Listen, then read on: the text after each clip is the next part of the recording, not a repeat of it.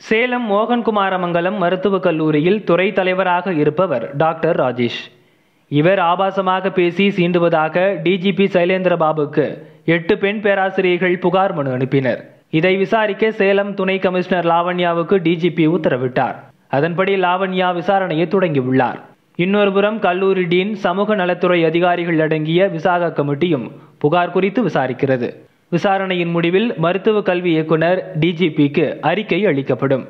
அதன் அடிப்படையில் நடவடிக்கை இருக்கும் என கல்லூரி நிர்வாகம் கூறியது பேராசிரியர்கள் கூறிய குற்றச்சாட்டை ராஜேஷ் மறுத்துள்ளார். சம்பந்தப்பட்ட பேராசிரியர்கள் சரியாக பணிக்கு வருவதில்லை. இதை நான் கேட்டதால் என் மீது பொய் புகார் அளித்துள்ளனர் என்றார்.